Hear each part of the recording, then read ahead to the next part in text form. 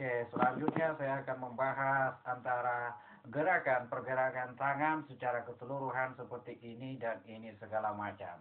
Ada sebuah pengumuman dinyatakan sebuah telenovela terkasih sayang Titanic mengumumkan antara Mars dan kode itu berbeda tentu.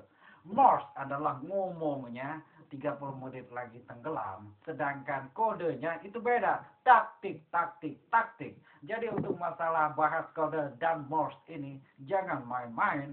Satu tik 7 juta triliun kata-kata terangkum menjadi satu disebut sabda. Dan satu lagi untuk alam. Alam banyak yang sekali kita bingung mengatakannya.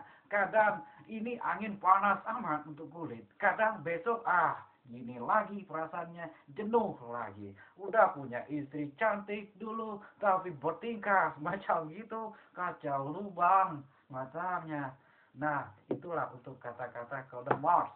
Salah satu contoh loh ini, ya jelasnya bukan masalah ngomongin masalah sandiwara saya enggak. Ini keseluruhannya bahasa yang sering sekali kita ucapkan ngomong dia sih begitu. Aduh mudah sekali diterka. Ngomong kamu mah blow on lebih dari saya. Thank you